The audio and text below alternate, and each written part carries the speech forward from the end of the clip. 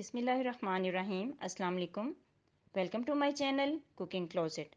आसान और मज़ेदार रेसिपीज़ के लिए मेरे चैनल को लाइक करें, सब्सक्राइब करें और बराबर में लगे हुए बेल आइकन को ज़रूर प्रेस करें।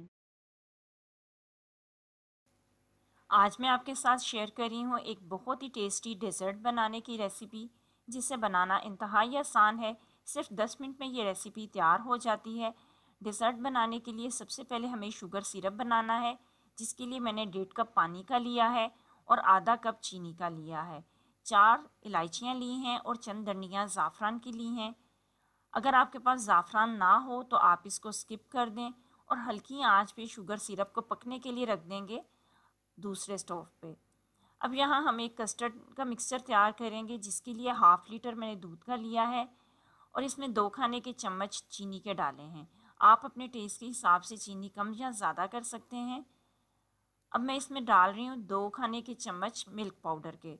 ये टोटली ऑप्शनल है। अगर आपके पास मिल्क पाउडर ना हो तो आप दूध के ऊपर से उतरने वाली जो भलाई होती है फ्रेश क्रीम वो भी डाल सकते हैं। दो से तीन खाने के चम्मच। इससे एक तो दूध गाढ़ा हो जाएगा और दूसरा इसके ऊपर शाइन आ जाएगी और टेस्ट भी अच्छा आएगा। जब दूध में अच्छा सा उबाल आ जाएगा तो अब इसमें मैं डाल रही हूँ दो खाने के चम्मच कॉर्नफ्लोर और दो खाने के चम्मच कस्टर्ड पाउडर के। अब यहाँ एक और बात बता दूँ, अगर आप खाली कॉर्नफ्लोर के साथ इसको बनाना चाहते हो तो आप खाली कॉर्नफ्लोर के साथ भी इसको बना सकते हैं। और अगर दोनों चीज़ें मिक्स करना चाहते हो तो दोनों मिक्स कर सकते हैं। मैंने दोनों ही मिक्स किए हैं, आप खाली कस्टर्ड पाउडर में भी इसको बना सकते हैं। अच्छी तरह से इसको मिक्स कर लेंगे और दो से तीन मिनट के लिए इसको मीडियम फ्लेम पर हम पका लेंगे, जब तक कि ये कस्टर्ड का मिक्सचर जो है वो थोड़ा सा थिक हो जाए। अब हमने इसको इतना पकाना है कि ये कोटिंग कंसिस्टेंसी में आ जाएँ। इस तरह फिंगर लगा के चेक कर लें। अब ये दोनों चीज़ें तैयार हो चुकी हैं। शुगर सिरप भी रेडी है और कस्टर्ड भी रेडी है। अगर आपने इसको खाली कॉर्नफ्लोर में बनाया हो तो स्टेज पे इसमें चंद कतरे वनीला एसेंस के डाल लें। अब एक सर्विंग डिश लेते हैं। इसमें मैं लेयर लगा रही हूँ केक रस की, जो आम, आराम से मिल जाते हैं मार्केट से। इसको शुगर सिरप से हम सोक करेंगे। सब तरफ़ शुगर सिरप लगा देंगे।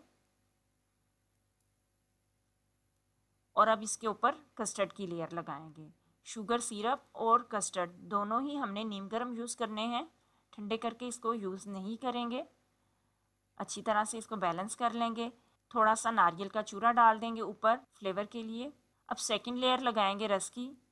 और इसको भी इसी तरह शुगर सिरप के साथ हम सोक कर लेंगे। ऊपर फिर कस्टर्ड की लेयर लगाएँगे और अच्छी तरह से इसको भी बैलेंस कर लेंगे।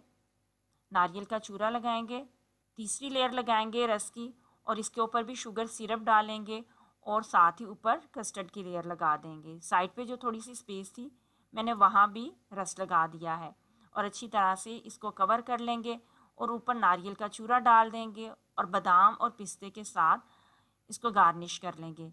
बहुत ही इंस्टेंट सी रेसिपी है ये मलाई केक बनाने की या फिर मिल्क केक बनाने की और बहुत ही क्रीमी सा ये डेज़र्ट तैयार हुआ है। इसको बहुत अच्छी तरह से ठंडा करने पर आप सर्व करें। टाइम थोड़ा हो तो फ्रीज़र में रख दें वरना दो से ढाई घंटे के लिए इसको फ्रिज में रखें और अच्छी तरह सेट होने पर इसको सर्व करें ताकि इसकी लेयर्स जो हैं वो अच्छी तरह से सेट हो जाएँ। आप इसकी लेयर्स को देख सकते हैं। अब आप इस मज़ेदार सी रेसिपी को ज़रूर ट्राई करें और इन्जॉय करें। अगर आपको मेरी रेसिपी पसंद आई है तो इसे ट्राई करें और फ्रेंड्स एंड फैमिली के साथ शेयर करें। अपना फीडबैक कमेंट सेक्शन में ज़रूर दें। अल्लाह हाफिज़।